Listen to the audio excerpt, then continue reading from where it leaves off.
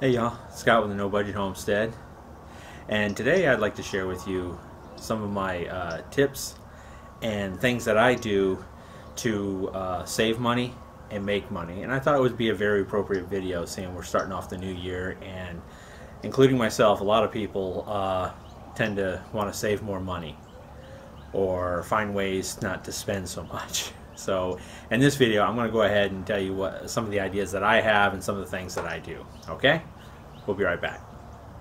Alright guys, we're back. Uh, some of the things that uh, I do to uh, make some money that has really helped me, uh, there's a couple things. Uh, a couple things you can do is check out the Facebook yard sales. If you have a Facebook account, uh, I don't really use mine, but if you have a Facebook account, a lot of the different communities have Facebook yard sale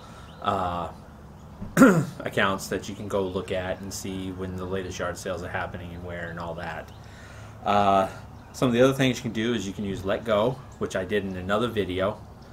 Okay, a little uh, iPhone app that allows you to sell stuff and communicate with people and everything. So if you're curious more about that, check out the video I got here. I'll put a card. Okay, uh, let's see here. Just lost my notes here. uh, you could also check out Craigslist and eBay. I do that. Uh, I have an eBay account and I typically sell some stuff here and there on eBay if it won't sell on letgo or Craigslist or something like that. Or uh, you could do a yard sale. Have a yard sale and sell some of your stuff.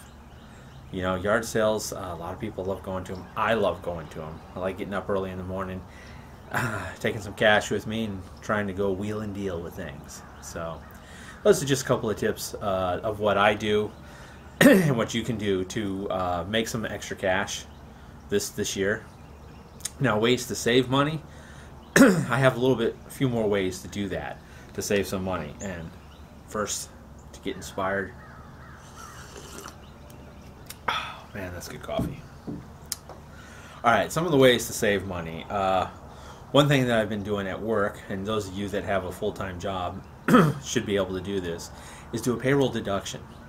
Take uh, a small amount. It doesn't have to be a lot. Uh, I started with 20, 20 $25 out of my paycheck going into a savings account that uh, I don't have access to readily. I mean, I can't go online and transfer money or anything like that. I have a debit not a debit card, uh, ATM card, so I can't even use it charge stuff with. And I use that and I keep my emergency fund in there.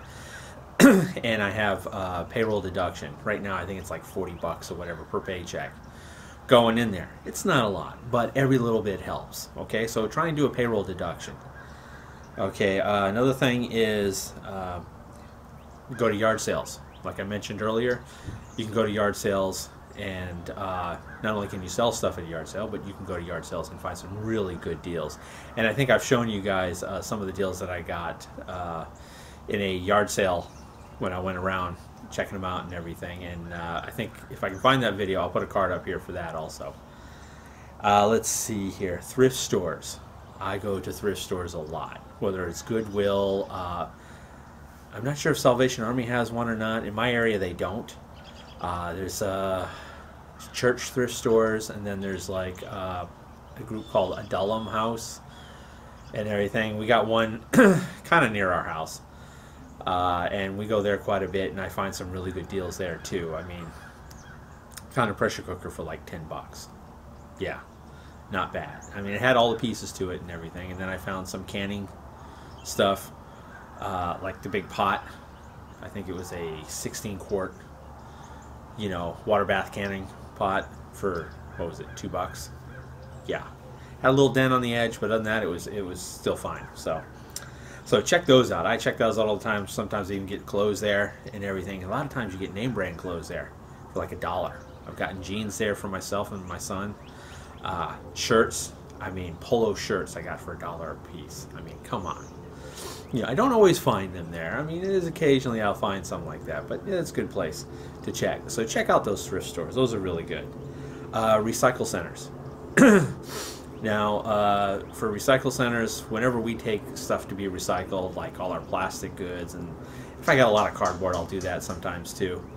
and everything. Uh, we'll go to the recycle center, and it never fails. Uh, almost almost every time, I will find something that I could turn around and sell. Like uh, on letgo, I well when I went to this recycle center before, I found a, a vanity sink. It was good. It had the faucet and everything. There was no damage to it whatsoever. It looked like somebody just swapped sinks in their vanity, and took it down to the recycle center. And I took it and sold it for thirty bucks. Yeah, so that's 30 bucks more than I had and didn't cost me a thing. Uh, so check out those recycle centers. We've gotten quite a few things. Propane tanks. I've got empty propane tanks there. And it's a lot cheaper to exchange a propane tank than to go out and buy one. Uh, and this one was even pretty rough and it was beyond its expiration date. But you take it down there, they'll swap it. No problem. Uh, there's uh, an app called uh, Freecycle or Trash Nothing uh, it's an app that I just recently found and I've been checking out and everything. And it's a, all about people who are giving things away or want things for free. Okay, it's a good way if you want to help others and they need something. They post up there that they need something and you have it and you don't really need it anymore. You can give it to them. Uh, or uh, if you're looking for stuff, you can go there and look and see what people are giving away. Sometimes, uh, like firewood.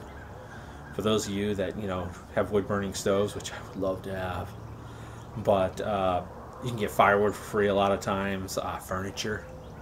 I saw people giving away furniture. So it's a really neat app. It's called Freecycle or Trash Nothing. So check the App Store, the Google Play Store for that. Okay, uh, another way to save money is uh, take a Dave Ramsey class.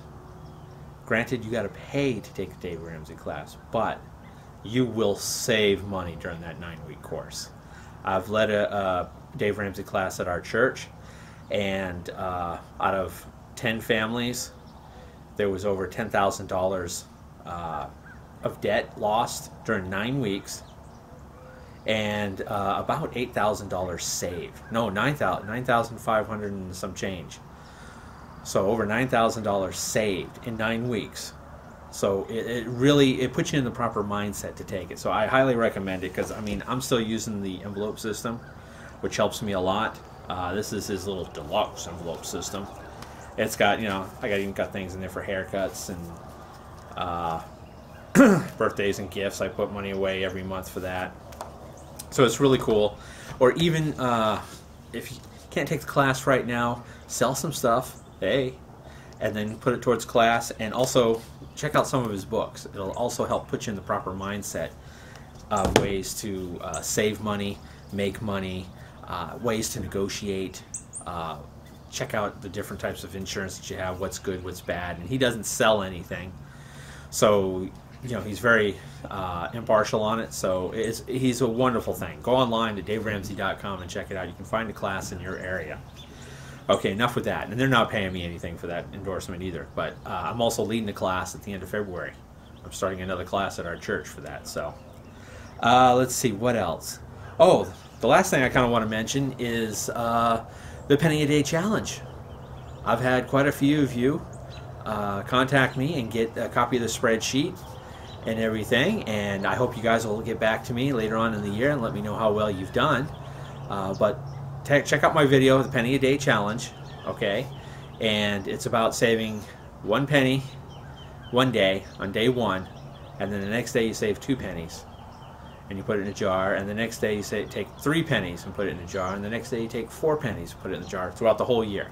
So the most you're ever paying into your jar, putting into your jar uh, once a day is three dollars and sixty-five cents, or three dollars and sixty-six cents if you're in a leap year. But you'll save over six hundred and seventy dollars. Now I don't know about you, even if you stop at November to get ready for Christmas, I mean that's still a few hundred bucks. And it really helped me out. It helped me get uh, some little toy that I wanted. And I may show it to you later on in another video. But uh, it, it's kind of part of my everyday carry. So that's a little hint. Anyways, guys, uh, I hope you enjoyed this video. I hope it helps you. Uh, let's make this year the best year to save money and to uh, make money. Okay? Uh, I have other tips and everything, but I'm going to save those for another video. But uh, y'all have a simply unbelievable day. Thanks for coming along. We'll see you guys on the next video. And if you haven't subscribed already, go ahead and click that subscribe button. It really helps us out. Lets Little Man and I know how we're doing. Uh, put any comments below that you may have. Okay. And, uh, well, we look forward to hearing from you. Y'all have a simply unbelievable day. God bless. And as I said earlier, we'll see you on the next video.